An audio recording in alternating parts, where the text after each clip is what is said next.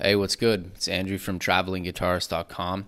Today I'm talking to you guys about guitar modeling amps. So, a guitar modeling amp, it's an amplifier that uses digital circuitry to imitate the most popular amplifier cabinet combinations, whether they're solid state or vacuum tube amps. So this is a common example of a, a guitar modeling amp. This is the Line 6 Spider 2, I believe. I believe that's the model. This is the one that I have at my uh, parents' house back home. It's probably one of the, I think it's like the second amplifier I ever got. Um, but these are these are amps that have really become popular over the last two decades. I, I believe it first started with Line Six and their Pod system, and that's not really a guitar modeling amp. That's more of a an amplifier modeler. Notice how they like switch the words around. An amplifier modeler that's a pod system or or it's some other external device that uses digital circuitry to like process the guitar signal which is then sent into a, a, guitar amplifier or a speaker system or a computer system. Whereas a guitar modeling amp it's kind of like an, an amplifier excuse me a regular amplifier where the digital circuitry is built right into the into the speaker cabinet combination so that's the difference between the two. I just want to illustrate that, and I'll probably explain that again later. Um, so as I just said, you got the di- you got different kinds of amplifier modelers. You have this. This is an amp modeler. This is a Line Six Pod. This is the one that I have. This one is probably, I think it's like 20 years old. Like it's very old. Um, I believe. I believe this one's from like 2005 or 2006. I bought it on eBay a few years back and it still works. And, and I actually enjoy using it a lot. It's pretty cool. I like all the effects on it and the different amp models that are right on it. I use it. It's great. I enjoy it. And then you have like your modeling amps, which is like this.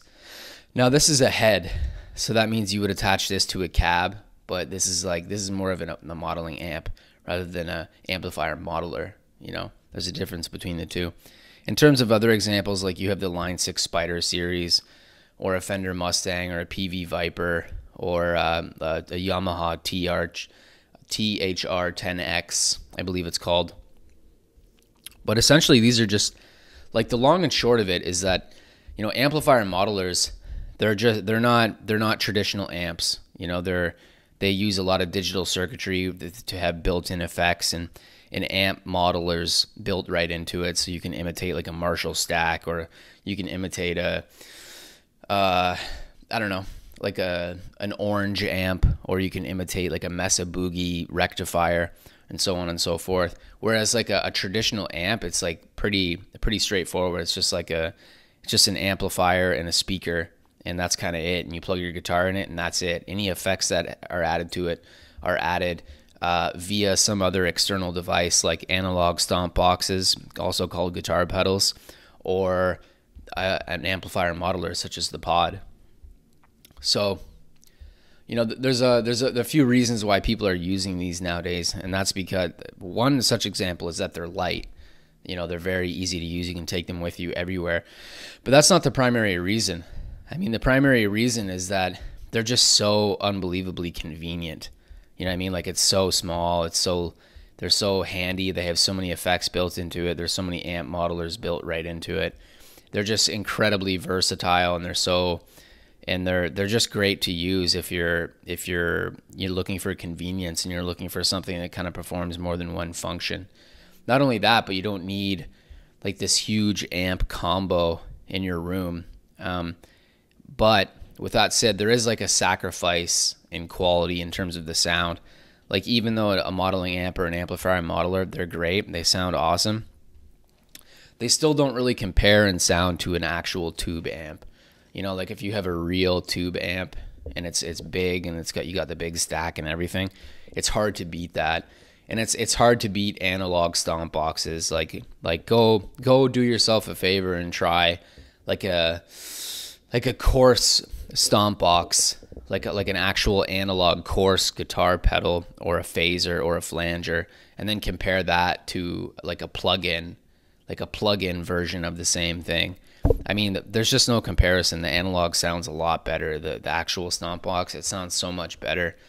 Um, but you know, essentially you're you're making a trade-off in terms of quality and you're making a trade-off in terms of convenience. So it's like how much quality do you want to sacrifice for convenience and you know, being lightweight and being very useful to have and being very easy to carry around with you and, and adding to your setup quickly.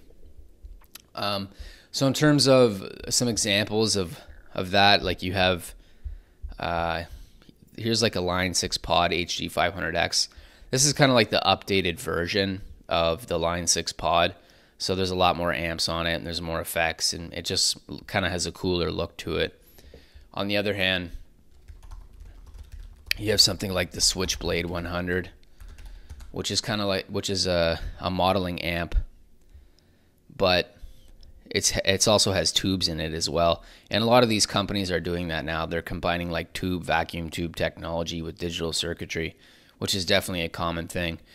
To be completely honest, I actually don't like this Hughes and Kettner amp, and I remember buying it. I spent a lot of money for it and just being kind of disappointed with the way it sounded. But then again, this was like 10 years ago when I bought it and used it. So frankly, I probably didn't even know how to dial it in properly or how to use it the way that it should be used. So, you know, at some point in time in the future when I move into a bigger apartment, I'm definitely going to get this bad boy out again and experiment with it and get it to sound better. Just with uh, what I know now and you know how to set things up now, I think I think I could do a lot better job of uh, you know utilizing its features and, and its capabilities but yeah, you know, guitar modeling amps and modeling amplifiers are these are all the rage now, especially with things like the like the Fractal Axe FX. And the the amazing thing about these things is that they're not even that expensive. Like I mean, two thousand dollars. Well, that's you say that's expensive, but I mean, it's really not. Like it's a, it's it's quite the device there's a lot of effects. There's a lot of amps built into it. Like they're really, I think they're pretty amazing in terms of what they can do. And you know, they're so versatile and they're they're just very like if you're if you're serious about having a lot of effects and a lot of good stuff and you know having a lot of amps and really just you're serious about computer recording and having a home studio, I definitely recommend getting something like this. Um, because I don't know, you're just not going to go wrong. Uh, the the only downside of using this digital technology is that you know, if you go and sell it sometime in the future, like it's almost it's almost lost its value completely. It's like a car, you know. what I mean, if you if you compare like a like a an uh, Fractal Audio Axe, uh, Axe FX in comparison to like a, a Marshall stack, I mean, it's just not.